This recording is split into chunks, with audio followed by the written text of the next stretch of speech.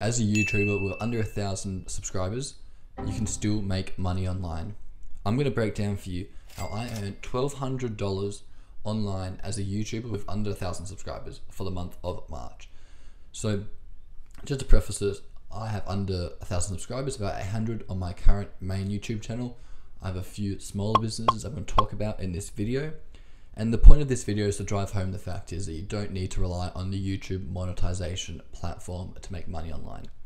So let's start with my biggest earner for the month of March 2022, and that was affiliate income at $422.51. Now, what's so good about affiliate income is I made all of that money overnight without having to work for it. Well, it's a bit of a lie. I did actually have to put in the time to build up an audience and actually create content people wanted to read, consume, and then purchase these products and give me a little bit of their income. So there is a bit of work involved in that, but overall, all of that income is actually all passive for me, which is really amazing. And it was my biggest earner, which is even better. Now, the next biggest one for me was consulting, and that was you know one-on-one time with customers, which came from my um, marketing channel, which you can see here, which specializes in digital marketing and advertising, e-commerce, all that sort of jazz. So that that came from that. I'd really like to ramp that up. I can kind of forecast that being, you know, maybe five or six thousand dollars every month if I can get that going nicely. Uh, my next biggest one was guest content creation, and this is where I create content for people on my website, or my YouTube channel, and I publish that for them. And this came to $294 for the month, which is actually quite a slow month for me. So I'm looking to see that ramp up a little bit higher throughout the rest of 2022. And then the last one for me was actually direct product sales, so e commerce sales essentially. And this accounted for $117 online.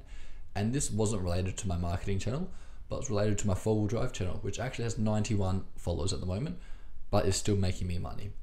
So the point of this video, guys, is to remind you don't rely on the YouTube um, monetization program it's not the be all end all. A thousand subscribers is not going to make you a millionaire overnight.